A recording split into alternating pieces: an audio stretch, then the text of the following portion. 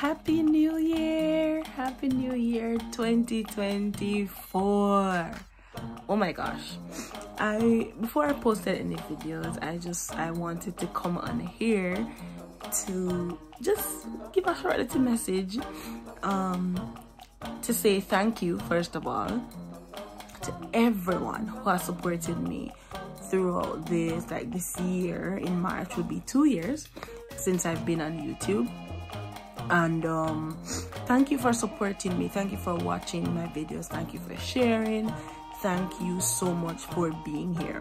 It is now the 4th of January and I think you may you may be hearing me. I'm pretty stuffy. Yeah I'm sick.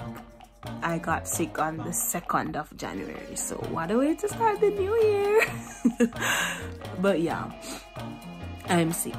Way better. I'm today I'm way better than I was yesterday because man yesterday.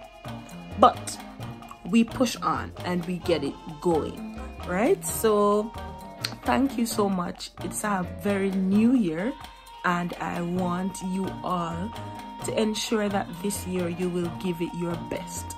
Give it your best means you will try your utmost best to experience to enjoy and to just live in the moment a whole lot has been going on especially in japan if you've been watching the news.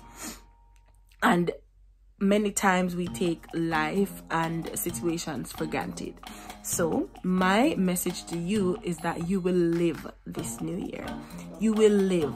You will experience new things. You will travel. You will make the most of all the situations that you are placed in. So yes this is my little message to you have a very very very very very happy new year.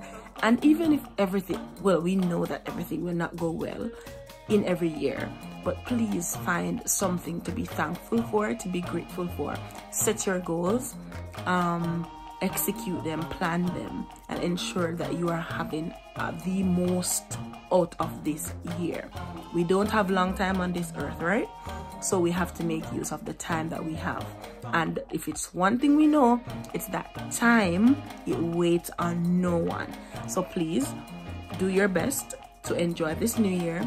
Make the most of it. Experience new things. Travel to new places. Eat something new. Try something new do new things this new year.